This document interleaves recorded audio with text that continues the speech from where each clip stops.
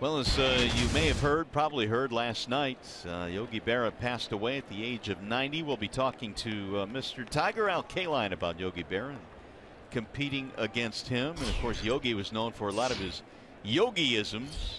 There Yeah. are some classics. They'd make you think a bit, wouldn't they? It's fouled back out of play by Sanchez 0 1. Here's the first one, Gibby. Nobody goes there anymore. It's too crowded. Talking about going to restaurants. I mean, you literally could write a book on these yogiisms. I think they have written a few, haven't they? Yeah, they probably have. Everybody's got their favorite. 0 2 on Sanchez. There's always it, it always doesn't quite fit though, though, doesn't it? No, there's, there's always something a little bit off about it. But that's the charm. Sanchez, three out of six in the series, double and a homer.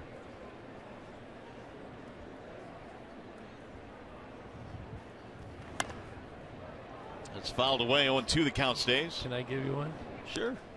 So um, somebody, the couples was streaking across the field. Did you hear about that one? I have not heard this one.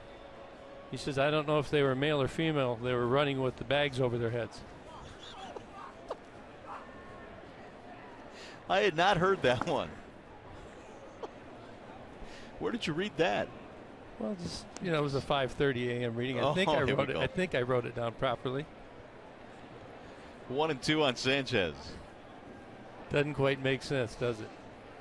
Usually doesn't, but again, that's the charm.